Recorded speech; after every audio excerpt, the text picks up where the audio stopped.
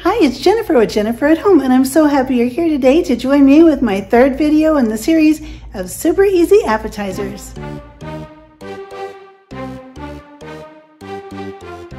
Today we're going to make some super easy bacon wrapped little smokies and some little peach dumplings. Football season is here and these little appetizers are perfect for football season and tailgate parties. First, let's get started with the bacon wrapped smokies and brown sugar on top. All we need for this recipe is bacon, brown sugar, and little smokies. The first thing I did was cut the package of bacon into thirds.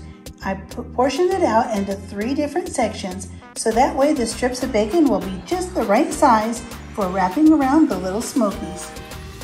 I have a greased casserole dish and I'm gonna start by taking the bacon and the little smokies and I'm just gonna wrap it around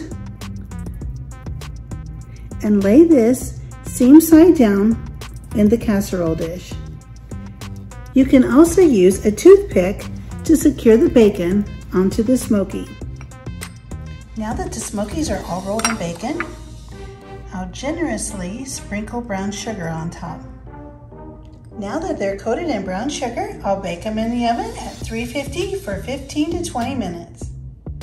Okay, on to recipe number two now, little peach dumplings. If we'd like to have something sweet at the tailgate party that's perfect for fall and football season, we'll need one can of sliced peaches and 100% juice, about a half a sheet of crescent dough, one tablespoon of sugar, and a teaspoon of cinnamon. I'm going to drain the can of peaches, reserving all of the liquid. I have a bowl underneath to catch all of the liquid from the peaches. I sprayed a casserole dish, then I took half of the pastry dough.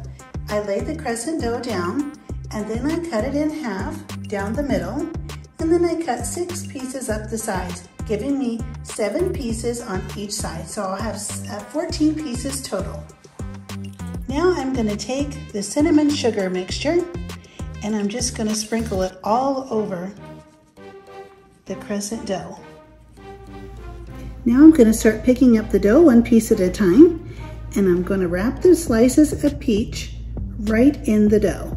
And you can wrap it right around and the dough will stick to itself. Just like this, and just lay it down, seam side down if you can, into the casserole dish and then I'll just keep moving along right on to the next one. I'm wrapping the cinnamon sugar mix on the inside so that way it'll flavor the peach nicely.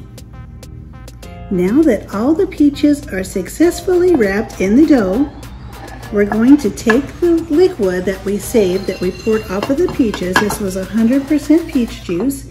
And we're gonna take the extra cinnamon sugar, pour it in, and mix this in. And there we have it. And then we're just gonna pour this right in the casserole dish, all around the peaches. And there we have it. And the only thing left to do is bake this in the oven at 350 until the dough is puffed up and completely done.